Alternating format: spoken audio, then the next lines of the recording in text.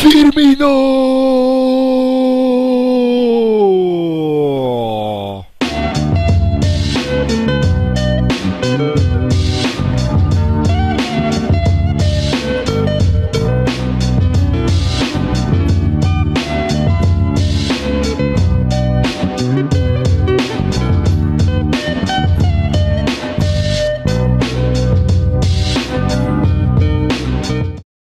Roberto Firmino.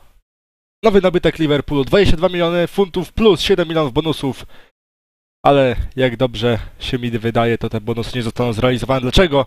Gdyż te bonusy to najprawdopodobniej awans do Ligi Mistrzów plus 100 rozegranych spotkań w barwach Liverpoolu. A znając życie, zanim awansujemy do Ligi Mistrzów i zanim on rozegra 100 spotkań, to kupi go jakaś Barcelona czy Juventus i nawet nie te, te, te bonusy nie zostaną przelane na konto Hoffenheim. Ale e, wracając do głównego wątku, Firmino, Roberto Firmino, nowy nabytek Liverpoolu, prosto z Hoffenheim. Zawodnik, który może grać na pozycji dziesiątki, dziewiątki, fałszywej dziewiątki. Obecnie jest na Copa America, gra w Brazylii właśnie na pozycji dziewiątki. E, Jako napastnik, wysunięty napastnik. Za jego plecami w ostatnim spotkaniu grał Filip Coutinho i teraz będzie tak samo na Enfield, na każdym innym angielskim boisku Premier League. Roberto Firmino będzie e, razem z Filipem Coutinho, razem, mam nadzieję przynajmniej, z Jordanem Hendersonem, z Emre Canem. Naprawdę młoda gwardia Liverpoolu wchodzi do gry. A jeszcze mamy w obwodzie e, Adama Lalanę, mamy Markowicza, który jeszcze nie dostał naprawdę tej swojej konkretnej szansy, gdyż grał nie na swojej pozycji. Mamy e, bardzo potencjalnego, nowego też, dobrego snajpera, czyli Divoka Oriziego, e, który też jeszcze się nie, nie, rozwinął swoich skrzydeł w pełni. E, mamy danego Inksa, który przychodzi za darmo, e, młody, napalony, oczywiście piłkarsko i naprawdę jest podekscytowany.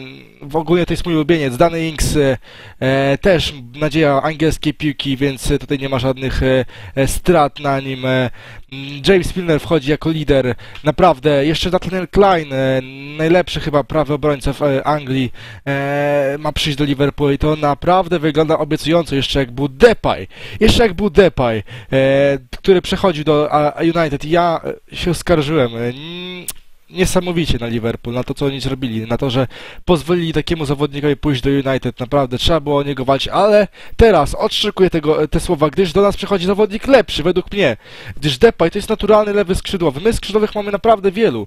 I na dodatek Firmino to nie jest zastępstwo Sterlinga, Firmino to jest zawodnik, który miał po prostu przyjść, on jest zawodnikiem ofensywnym, który może wspomóc naszą linię ataku, to nie jest skrzydłowy, to nie jest skrzydłowy, on nie gra na skrzydle zbyt często, na skrzydle nie radzi sobie tak dobrze jak na środku, Generalnie to jest e, zawodnik, który do pary z Coutinho powinien grać za napastnikiem, ewentualnie e, ze Starydżem, jeżeli Starydż wróci, bo e, Firmino, Firmino to jest zawodnik, który naprawdę przypomina swoją specyfikację Luisa Suareza. Suarez grając w Ajaxie to nie był typowy środkowy napastnik jak Ibrahimowicz, czy teraz Arkadiusz Milik. Suarez to był taki zawodnik, fałszywy napastnik, Coś mi to mówi, to samo co Firmino.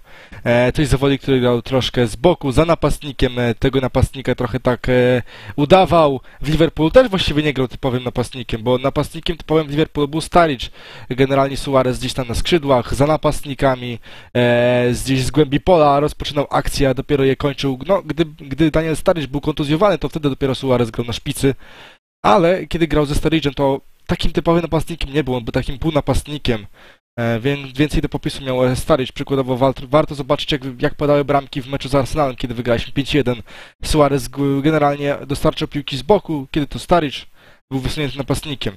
Ale już o Suarezie, o tamtym sezonie zapomnijmy. E, Jest Roberto Firmino, właśnie taki według mnie naturalny zastępca Suareza.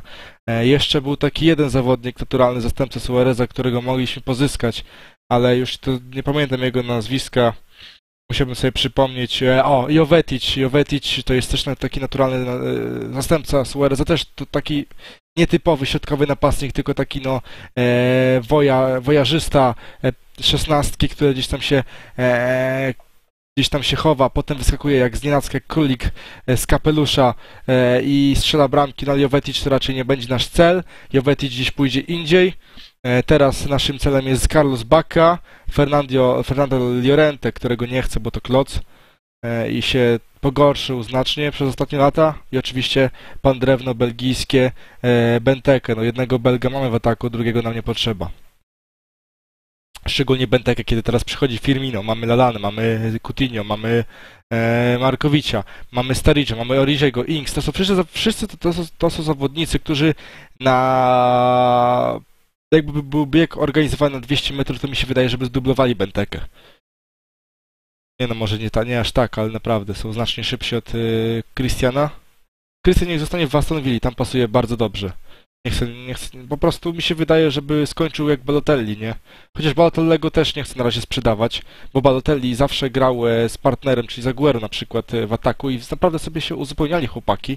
Mi się wydaje, że jakby Starycz był e, zdrowy cały sezon i Balotelli mógłby z nim grać, naprawdę byłoby to zupełnie inaczej niż było, no ale zobaczymy, bo Balotelli na razie jest na wylocie, tak samo jak Borini, Lambert, Aspas już jest w innym klubie też Luis Alberto jest na wylocie, więc zobaczymy jak to pójdzie. No ale podsumowując, e, mamy Roberto Firmino naprawdę bramkostrzelny.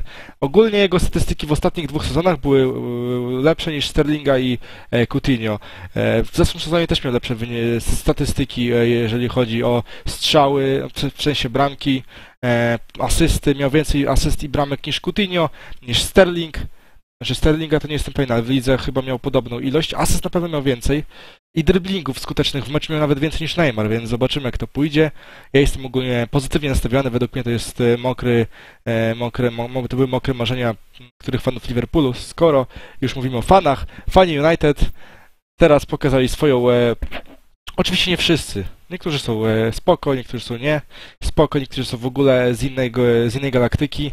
E, idiotyzmów oczywiście, no bo pokazali w tym momencie swoją e, e, inteligencję, kiedy po zatrudnieniu Depaya, który tak naprawdę nie był e, do momentu zatrudnienia żadnym podstawowym skrzydłowym reprezentacji Brazylii, tego e, Holandii, bo tam Robben na jego pozycji grał bardzo często, a te, i wtedy wiecie, kozaki zgrywali, bo pokonaliśmy Liverpool po Depaya, jesteście ciotami, te sprawy, nie? A teraz Firmino, który też był e, jednym z, z podstawowych e, celów e, United według prasy, bo było często...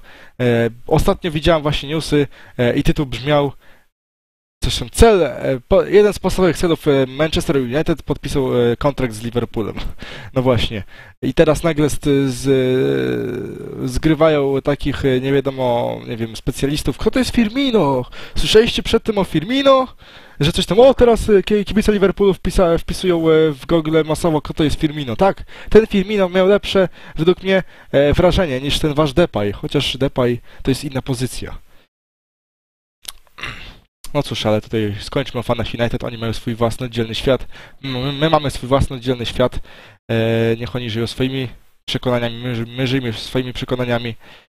Fakt jest jeden, Firmino jest z Liverpoolu, e, w okienko, mimo że się jeszcze nie zaczęło, bo zaczyna się okienko 1 lipca, tak oficjalnie, to my mamy, mamy już na koncie kilka naprawdę ciekawych transferów. Inks, Gomez, e, teraz mamy Firmino, mamy Milnera.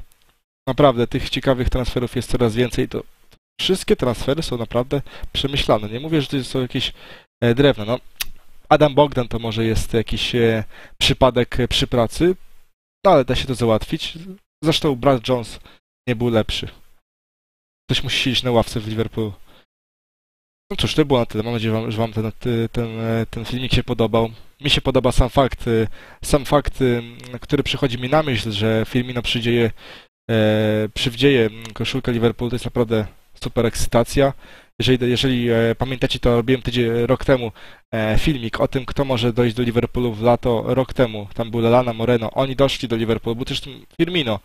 E, no i Firmino doszedł, ale rok później w sumie, w sumie to bardzo dobrze.